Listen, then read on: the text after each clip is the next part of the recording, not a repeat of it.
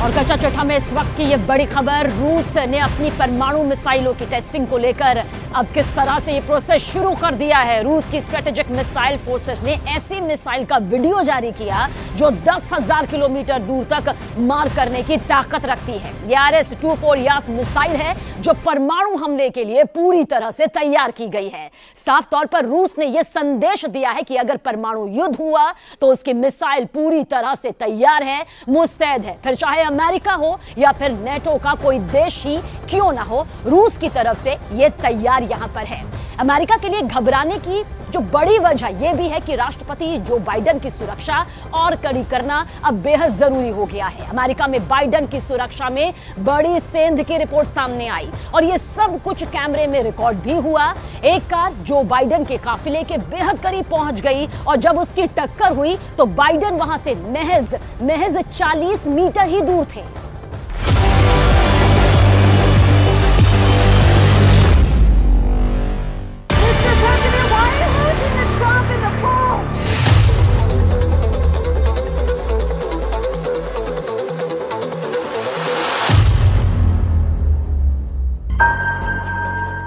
जो बाइडन अपनी election team से मीटिंग करने के बाद बाहर निकले ही थे कि ठीक 10 सेकंड के बाद एक बड़ी आवाज़ आती है।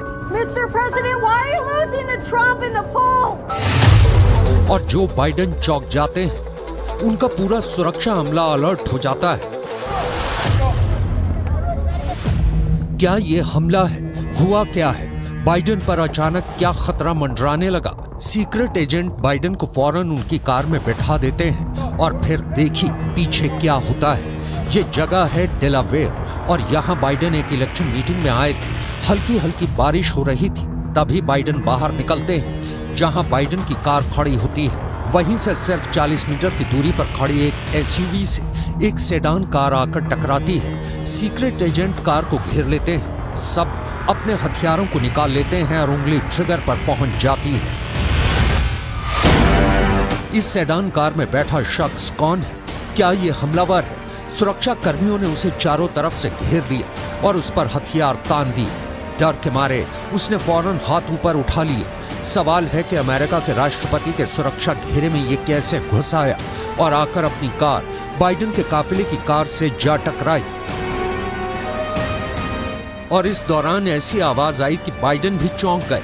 पूरा सुरक्षा घेरा अलर्ट हो गया। सुरक्षा कर्मियों ने राष्ट्रपति बाइडन को फ़ौरन कार में बैठाया और उन्हें इस जगह से दूर ले जाया गया। जिस व्यक्ति की कार बाइडन के काफिले से टकराई, उसे फ़ौरन हिरासत में ले लिया गया। बाइडन सुरक्षित है, लेकिन अमेरिका के लिए हालात खराब होते जा रहे हैं। इसकी वजह यूक्रेन का युद्ध है, जहाँ पुतिन की सेना ने नेटो को ऐसे चैलेंज किया है कि अमेरिका समेत सभी पश्चिमी देश चारों खाने चित हो चुके हैं। इसकी वजह गाजा पर बमबारी है, पश्चिम एशिया जल रहा है। बीस हज़ार लोगों की मौत हो चुकी है।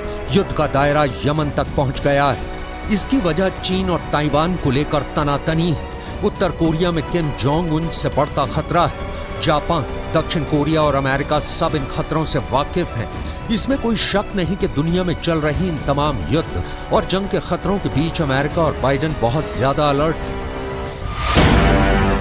बाइडन की सिक्योरिटी कई गुना बढ़ा दी गई है। बाइडन के सुरक्षा घेरे में और ज़्यादा कमांडो तैनात हो गए हैं। बाइडन की तमाम मूवमेंट को लेकर अब इलाकों को और सैनिटाइज किया जा रहा है, क्योंकि अमेरिका के राष्ट्रपति को हमेशा सबसे ज़्यादा खतरा रहा है। फिर भी बाइडन की सुरक्षा में सेंध मारी जा सकती है। ये देखकर दुनिया हैरान है। एक कार कैसे बाइडन की सुरक्षा घेरे में घुस गई और जाकर एक गाड़ी से जा टकराई, ये वाकई एक बड़ी लापरवाही कही जाएगी। हालाँकि जिस कार में बाइडन सवार होते हैं, उसके मुकाबले की दुनिया में कोई दूसरी गाड़ी नहीं है। ये बात भी सौ प्रतिशत पक्की है, क्योंकि ये बलवान है, ये शक्तिमान है, ये बाहुबली है, ये बलशाली है, ये ताकतवर है, ये जोरावर है। इस कार की खूबियाँ ऐसी कि इसके आगे मजबूती और ताकत के सारे पर्यायवाची शब्द कम पड़ जाते हैं, क्योंकि ये है दुनिया की सबसे शक्तिशाली शख्सियत की सबसे बलशाली कार। नाम है बीस्ट। बाइडन जब ज़मीन पर होते हैं तो सबसे बड़े सुरक्षा घेरे में होते हैं। फिर चाहे वो खुद हो या फिर उनकी कारों का काफिला, इस काफिले में उनकी बीस्ट कार दुनिया की सबसे सुरक्षित कार मानी जाती है। बीस्ट अमेरिका के राष्ट्रपति की कार है। इसकी ताकत क्या है और ये किस तरह बाइडेन की हिफाजत करती है? इसे जानने से पहले इस कार के बारे में कुछ खास बातें जान लीजिए। बीस्ट एक 18 फीट लंबी कार है। जबकि एक आम कार 10 से 12 फीट लंबी होती है। बीस्ट का वज़न करीब 8 टन है, जबकि एक आम कार एक टन या उससे कुछ ज़्यादा वजनी होती है। अमेरिका के राष्ट्रपति के लिए ऐसी 12 कारें बनाई गई और ऐसी हर एक कार की कीमत है 15 लाख डॉलर, यानी करीब 11 करोड़ रुपए।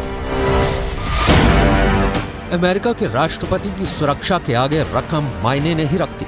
राष्ट्रपति की सुरक्षा के लिए ही ये कार बनाई गई है। डेलावेयर में जो हुआ, अगर इसकी जगह कोई ऐसी गाड़ी होती, जिसमें विस्फोटक होता तो क्या होता? खतरे को समझा जा सकता है। इसलिए ये सवाल कि अमेरिका के प्रेसिडेंट की सवारी इतनी महँगी क्यों है? उसका जवाब भी देख लीजिए। तो जो बाइडन के काफिले से आज एक गाड़ी टकरा गई है, लेकिन जो बाइडन की गाड़ी कैसी दिखती है? यानी कि उनकी बीस्ट कार का मॉडल क्या है? लगभग लगभग ऐसा ही बीस्ट कार का मॉडल है जिस बीस्ट कार से जो बाइडन सफ़र करते हैं। लेकिन बीस्ट कार में किस तरीके की टेक्नोलॉजी लगी हुई है? बीस्ट कार में बहुत ही आधुनिक जीपीएस सिस्टम लगाया गया है। यानी कि टेक्नोलॉजिकली जो नेविगेशन सिस्टम है जीपीएस कम्युनिकेशन सिस्टम है, वो अपग्रेडेड जीपीएस कम्युनिकेशन सिस्टम इसमें लगा है। इस कार में इसके अलावा सैटेलाइट फ़ोन भी होता है जिसके ज़रिए पेंटागन से बातचीत की जा सकती है। तो देखिए, आप कितने आधुनिक तरीके से ये लेस है और हम आपको दिखाने की भी कोशिश कर रहे हैं। देखिए सैटेलाइट फ़ोन है, यहाँ से सीधे तौर पर जो बाइडन या कोई भी राष्ट्रपति हो, वो सीधे तौर पर पेंटागन से बातचीत कर सकता है। इसके अलावा आपको ये भी बता दें कि बीस्ट कार में आठ इंच मोटी बख्तर लगी हुई है। इस पर केमिकल और जैविक अटैक भी बेअसर साबित होता है, यानी कि कोई भी परिंदा इस पे पर नहीं मार सकता है।